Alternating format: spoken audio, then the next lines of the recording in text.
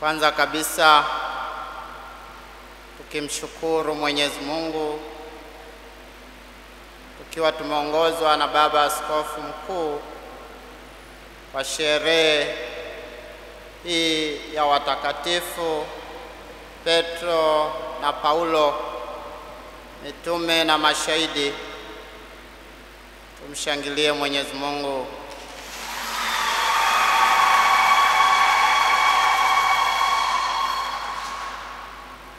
Zangu, furaha hii ama sherehe hii kama alivyotueleza Baba Askofu Mkuu katika mahubiri yake na kwa awali katika utangulizi, tunaungana na kanisa la ulimwengu.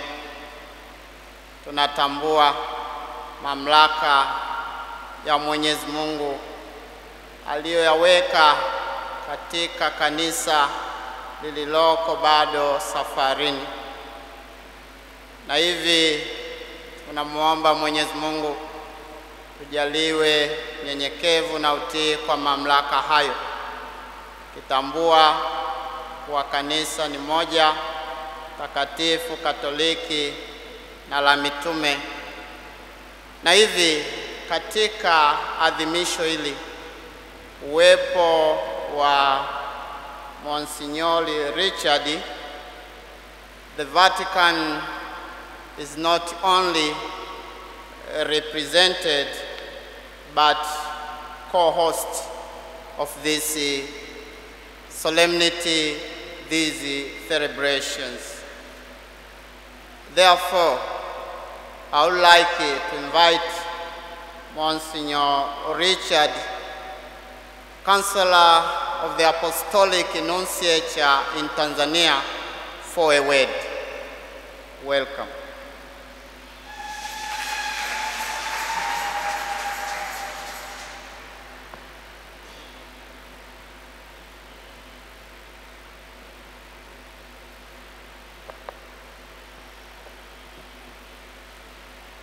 Your Grace, Archbishop Ruwa'ichi, Excellencies, dear brother priests, men and women religious, seminarians, dear brothers and sisters in Christ, Tumsifu Jesu Christu. Today, as we celebrate this solemnity of the two great apostles, Saints Peter and Paul, we recall not only the wonderful mission that God entrusted to them to be the light to the Gentiles, to be the vicar of Christ on earth, to have the faith and the courage even to shedding their blood. But we also recall the power of God's grace working in these two illuminative individuals. Peter became the vicar of Christ. The power of God's grace working him transformed his life. St. Paul, a murderer of Christians, a persecutor of the early church, whose life was transformed by the grace of Jesus Christ. This is what we celebrate most especially this day. Traditionally, as well, we celebrate the feast day of our Holy Father, the feast day of the pontificate.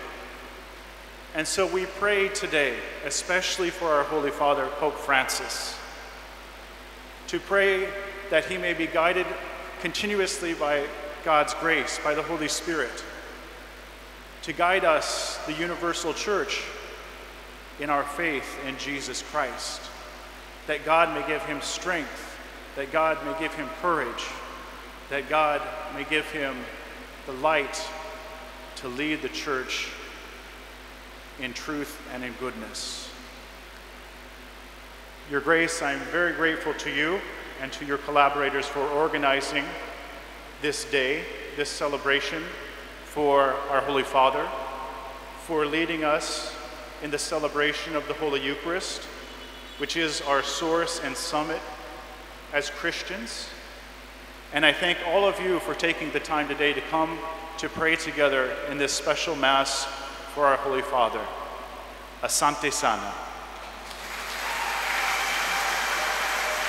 Monsignor Richard, waheshimiwa mapadri wote, watawa, waamini wa lei, taifa lote la Mungu, tumsifu Yesu Kristo. Awali ya yote, napenda nimshukuru kila mmoja wenu kwa kutenga muda kuja kumwombea Baba Mtakatifu ni jambo jema. Unapomwombea Baba Mtakatifu, unaliombea kanisa lote, na kwa namna fulani unajiombea wewe mwenyewe pia. Nakuombeni basi, tunapoadhimisha sherehe hii ya mitume Petro na Paulo, tuliombee kanisa lote la ulimwengu na kwa namna ya pekee kanisa la hapa Tanzania lizidi kuwa taa na nuru kwa walimwengu. Napenda kuwatakieni wingi wa neema na baraka. To you, Monsignor Richard, we thank you for joining us in this celebration. We are glad to be with you as we pray for the Holy Father, and uh, we wish you well as well.